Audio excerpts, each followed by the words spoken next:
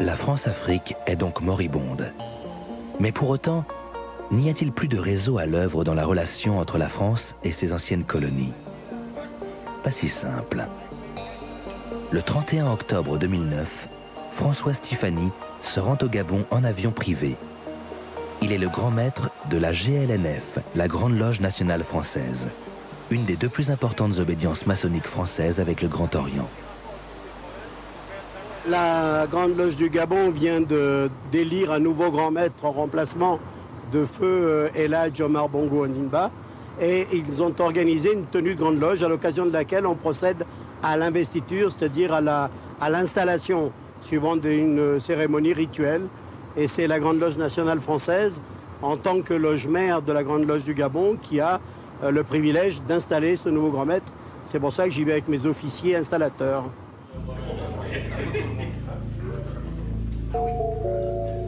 Le grand maître qui va être intronisé est Ali Bongo, nouveau président du Gabon qui prend là aussi la succession de son père. Dans la plupart des anciennes colonies françaises d'Afrique noire, les chefs d'État sont francs-maçons. Et le plus souvent, ils sont les grands maîtres de leur loge nationale. Avec son ésotérisme, ses rites désuets et sa manie du secret, la franc-maçonnerie facilite les liens discrets et directs entre frères africains et français, tous recrutés dans les sphères du pouvoir politique et économique.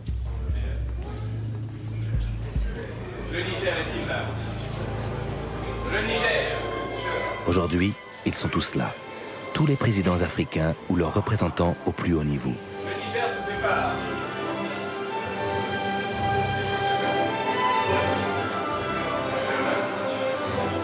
Quelques jours après cette cérémonie, c'est un rassemblement mondial de la franc-maçonnerie qui devait se tenir au Gabon, avec une forte présence des Américains. Il n'y a pas encore de Chinois francs-maçons. Ça ne saurait tarder.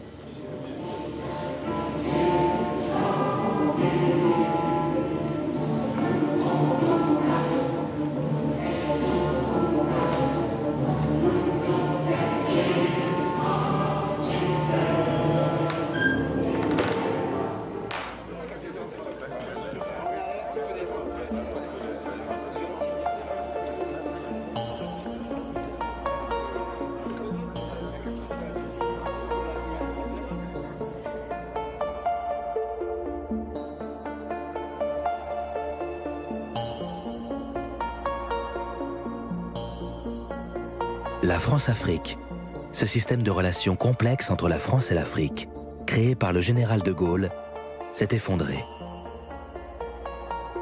Certes, des réseaux de connivence secrète perdurent.